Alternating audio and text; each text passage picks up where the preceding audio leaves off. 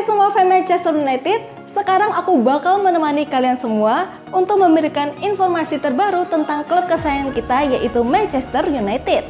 Jangan lupa untuk subscribe channel The Red Devils berita Manchester United terbaru karena setiap Kamisnya kita akan mengadakan giveaway satu jersey bagi subscriber yang beruntung. Dan di 500 ribu subscriber nanti, kita akan membagikan 3 iPhone 11 bagi subscriber yang paling setia Terima kasih atas dukungannya sahabat The Red Devils, semoga beruntung. Jangan lupa like dan komen semenarik mungkin dan cantumkan IG kalian di kolom komentar.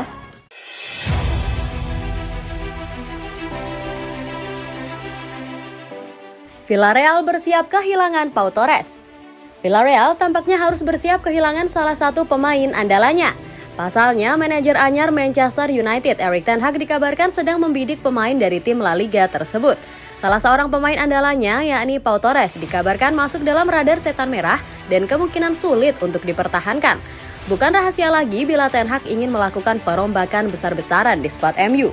Sejumlah pemain yang tidak sesuai dengan skema bermainnya bakal dilepas dan diganti pemain yang baru.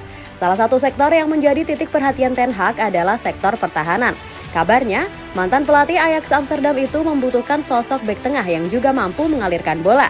Pilihan tersebut belakangan jatuh kepada Pau Torres. Selain gaya bermain yang sesuai keinginan Ten Hag, Torres kebetulan merupakan jebolan Akademi Ajax sehingga tidak akan kesulitan beradaptasi.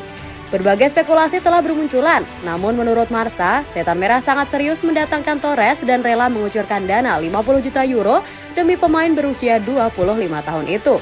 Bagi Villarreal, Torres merupakan sosok sentral di barisan pertahanan mereka. Hanya saja kegagalan tampil di Liga Champions musim depan membuat Villarreal sepertinya bakal sulit mempertahankannya. Musim ini Villarreal gagal menembus empat besar dan harus puas finish di urutan ke-7 dengan 59 poin. Situasi ini tentu membuat Villarreal kesulitan dalam mempertahankan para pemain bintangnya termasuk Torres.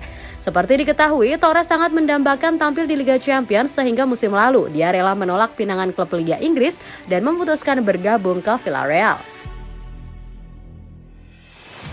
Dua pemain ini jadi prioritas transfer Ten Hag. Jurnalis asal Italia Fabrizio Romano sudah mendapat bocoran dua pemain pertama yang didatangkan Erik Ten Hag ke Manchester United. Dua sosok pemain yang dimaksud adalah Jurin Timber Ajax Amsterdam dan Pau Torres Villarreal. Manchester United kembali membahas Jurin Timber secara internal dalam 48 jam terakhir. Nama Timber bersama Pau Torres juga disebutkan dalam pertemuan pertama antara Manchester United dan Ten Hag beberapa hari lalu.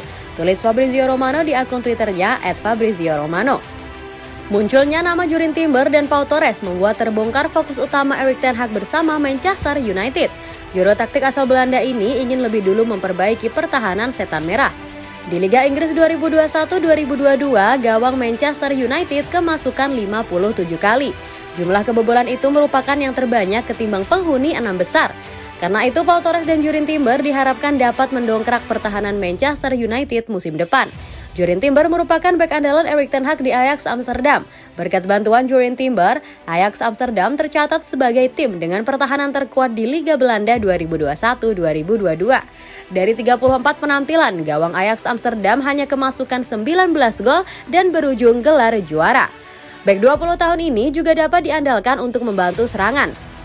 Terbukti dari 43 laga bareng Ajax Amsterdam di musim 2021-2022, Timber mengemas 3 gol. Erik Ten Hag siap berikan yang terbaik untuk MU. Mulai musim 2022-2023, Manchester United akan memasuki era baru di bawah arahan Erik Ten Hag. Manajer berusia 52 tahun itu mendapatkan kontrak selama tiga tahun ke depan dan memiliki tugas untuk membangun kembali tim serta memastikan setan merah kembali ke jalur juara. Ten Hag sendiri menyadari sulitnya pekerjaan yang dia terima. Untuk itu, dirinya memastikan siap memberikan segalanya bagi setan merah. Tentu saja Anda membutuhkan waktu untuk bersantai dan mengumpulkan kembali energi, ujar Ten Hag saat diwawancara oleh MUTV. Tapi pada akhirnya bagi seorang pelatih mereka akan bekerja non-stop selama 24 jam. Anda hanya hidup untuk sepak bola, terlebih jika Anda ingin mempersiapkan musim baru dan tim menghadapi pertandingan demi pertandingan. Musim depan kami juga akan tampil setiap tiga hari sekali, jadi akan ada banyak pekerjaan yang harus dilakukan di dunia sepak bola. Anda tidur dan hidup hanya untuk sepak bola, pungkasnya. Komitmen kuat Ten Hag untuk membangkitkan Man United sudah terlihat di mana dirinya memutuskan untuk datang lebih awal dan milih bekerja membentuk staf pelatih sembari menyiapkan materi untuk pramusim yang akan dimulai pada bulan depan. Donny van de Beek kirim salam perpisahan untuk Everton. Sejak didatangkan oleh Manchester United dari Ajax Amsterdam pada musim panas tahun 2020 yang lalu, Donny van de Beek kesulitan untuk mendapatkan kesempatan bermain reguler di tim utama, baik di era oleh Gunnar Solskjaer maupun Rolf Rangnick. Demi menyelamatkan karirnya, pada Januari 2022 yang lalu, Van de Beek menjalani masa peminjaman selama setengah musim di Everton. Namun perjalanan karir Van de Beek di skuad arahan Frank Lampard tersebut juga tak berjalan mulus. Pemain asal Belanda itu dibekap cedera paha yang membuatnya hanya mampu mencatatkan tujuh penampilan dengan sumbangan satu gol saja. Meski demikian, Van de Beek juga turut andil dalam keberhasilan tim asal Merseyside itu lolos dari jeratan degradasi. Belakangan, Van de Beek yang akan kembali ke Man United pada musim panas tahun ini menyampaikan salam perpisahan bagi The Toughest.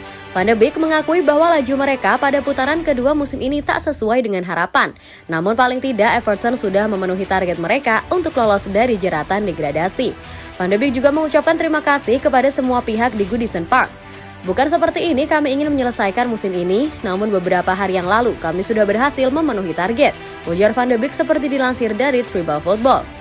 Saya ingin berterima kasih kepada semua pemain, staf, dan terutama para penggemar yang ada di sana. Mereka selalu ada dalam berbagai situasi, pungkasnya.